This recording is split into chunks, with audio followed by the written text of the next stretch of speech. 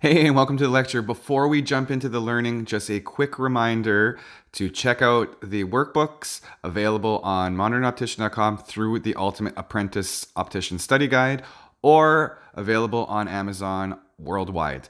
It's the best way to accompany this lecture so that you can fill in the blanks, label the diagrams, do everything all concurrently, and elevate your training to the next level. All the links to the workbooks and the website are all in the description down below, so make sure to check it out.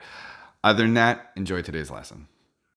All right, here we go. Effects of pathology on vision. I debated whether or not to even include this lecture in here because it's a lot of what we already talked about. It's kind of like a recap. However, I thought to myself, if we could do this quickly, because we touched on a lot of stuff, right? Um, and in, in different lectures. If we could just take one lecture to kind of recap all this stuff very quickly, uh, the most important pathologies and how they affect vision, how they affect us, I just thought it would be a good kind of overview and uh, we could be done with it, right? So bear with me. I know I'm going to be repeating myself a little bit. However, this is going to be the first time we have it all smushed into one lecture. Um, and we've already gone through, I'm not going to go in detail the way I did in the others. We're just going to do a quick overview of all these different pathologies, how they affect vision, because ultimately we deal with vision, right? So let's go here. I'm going to open this thing up here uh, and let's go. So first, macular degeneration, gradual and determine and detrimental, sorry, physical disturbance of the macula uh, and leads to loss of central vision in carrying degrees. Wow, obviously I did not look in varying degrees. I'll make sure to change that in the workbook. However, uh, yeah, macular degeneration equals decrease VA over time, right? Uh, very important that it is detected early. Cataracts, reduce visual acuity due to the clouding of the crystalline lens. As simple as that, right? And it increases over time, right? As the cataract gets worse, vision decreases. So between, mac between macular degeneration and cataracts, this is affecting mostly our elderly, right? This is something that we always have to look out for. If you have elderly patients who have visual problems, first thing that comes to mind for me is A, do they have cataracts? Have they had cataract surgery? If they haven't, well, then that's probably where a lot of our problems are coming from. Uh, if they have, then we have to make sure that the result was good and that they understand the limitations of increased presbyopia. And for macular degeneration, well, uh, I ask the patients flat out, do you have any um, known retinal problems like macular degeneration or anything, a lot of times they'll tell you yes. Then you have to have a discussion as to the expectation vision because there will be a decrease in visual acuity, right? So important to remember, and it helps you out when you're troubleshooting and you're discussing vision with your patients. Uh, color blindness, we didn't talk about this one. Um, very, very uncommon, honestly. However, uh, genetic disorder, what uncommon? It's it's common enough, but it's not really something that usually has a huge impact on our day-to-day kind of stuff. But Genetic disorder in which the perception of color may be skewed from the normal. Uh, secondary effect of the, uh, whoa, whoa sorry, I got one a little too, I'm missing a line between these two. But yeah, that's color blindness. Color blindness is not an enormous concern. Uh, there are tests that can be done. Uh, you know, you could do Ishihara plates, you could do different things like that. Uh, not an enormous concern in a dispensary. And actually, most people will tell you if they're colorblind. Um, fortunately, we're not testing color. We're just testing vision and, and visual acuity, so it's not an enormous concern. Uh, I went a little bit quick here on di diabetic retinopathy. However, you know, you can realize again when you understand what these things are, you understand when you're reading what it what it relates to, right? So in this case, diabetic retinopathy is secondary effect of diabetes, in which the vasculature of the retina is compromised, leading to damage and reduced visual acuity main thing is that we know that diabetic patients need to be checked so that this doesn't become an issue. However, remember that this is going to result in this decreased visual acuity. Another thing to ask patients. If people are starting to complain that they don't see like they used to, you have to start questioning the retina and you have to start thinking of things like macular degeneration, like or like cataracts, which is not the retina, but that's another cause, but also diabetic retinopathy. If your patient is diabetic, this does play. So it, it is a factor, right? How about glaucoma? Reduced visual field in the periphery due to increased intraocular pressure and optic nerve atrophy. So if we know the patient has glaucoma, the we have to start be considering their visual field results, right? And that is going to have an impact on their visual performance and visual comfort. Important to remember, glaucoma patients don't necessarily see as well as non-glaucoma patients, right? Makes sense. Uh, keratoconus, extreme steepness of the corneal curvature coupled with high degrees of irregular astigmatism.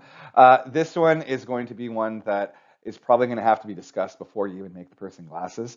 What you're looking for in uh, keratoconus is high degrees of astigmatism or, you know, equals high degrees of cylinder in the prescription. Um, and usually uh, it is uh, irregular in the sense that this cylinder can't be corrected with lenses.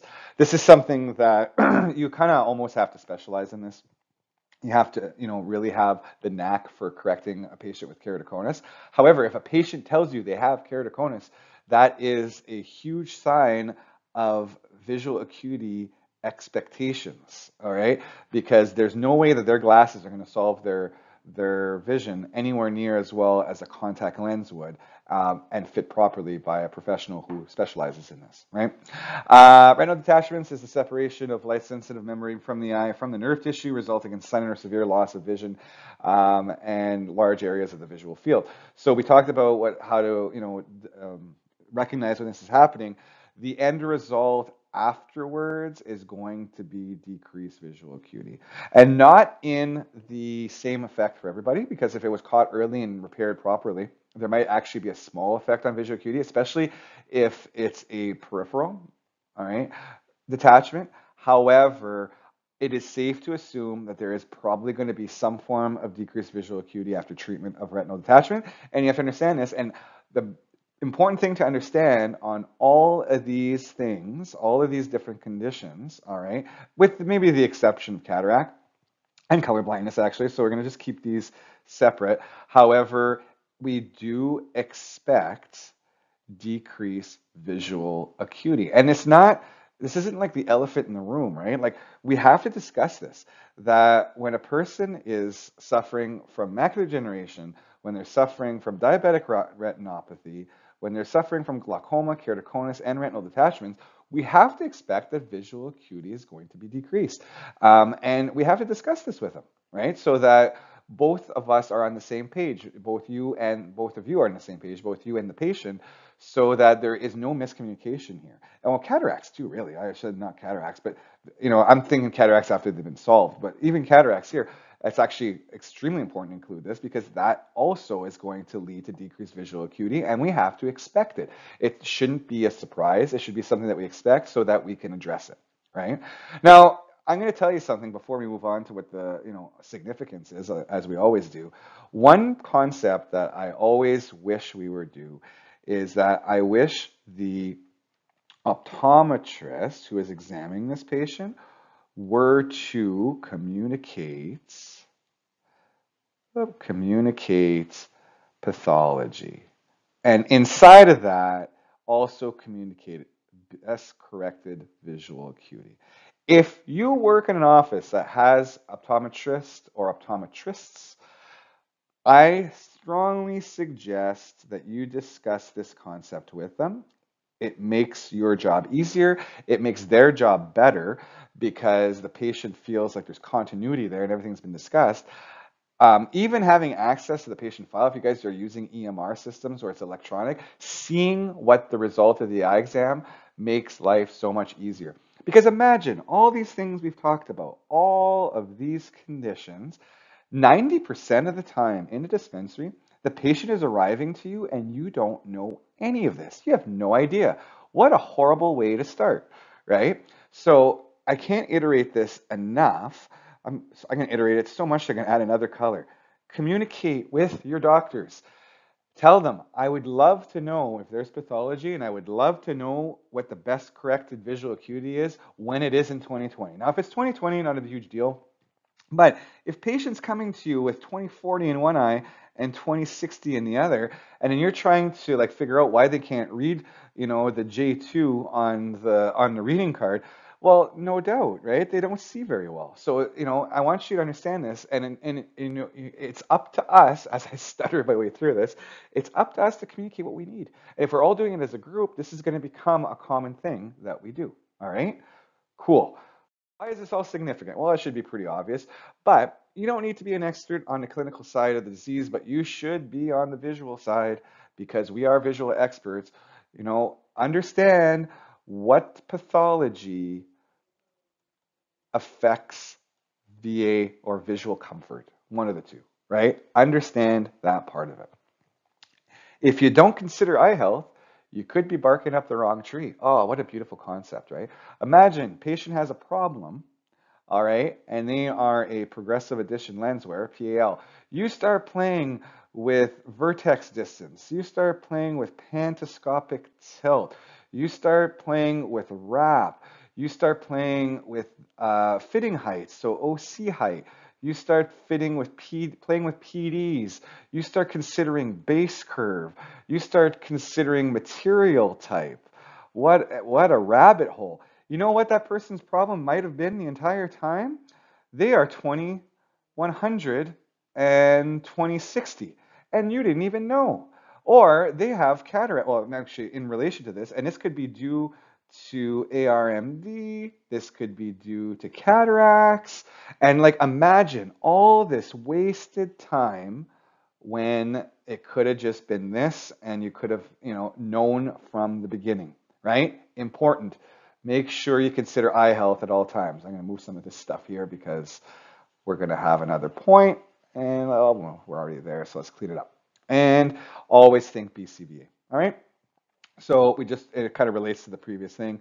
What is the best corrected visual acuity? Am I accomplishing that? And do I need to troubleshoot further, right? Because if BCVA is low and not great, then the lenses are probably a-okay doing what they're supposed to. It's due to the eye health. All right. And this is why I wanted to keep this lecture in the course because I want to hammer home this idea that pathology matters to vision and problems in the dispensary are not always due to all the things I mentioned, like PDs and heights and lens design and material, corridor length and base curve and what whatever. It could be BCVA the whole time, and it could be due to pathology, right? So know your pathology, understand the effects, always suspect it, always question, always ask, coordinate with your eye doctors, and you will be much better at your job for it. All right, let's move on.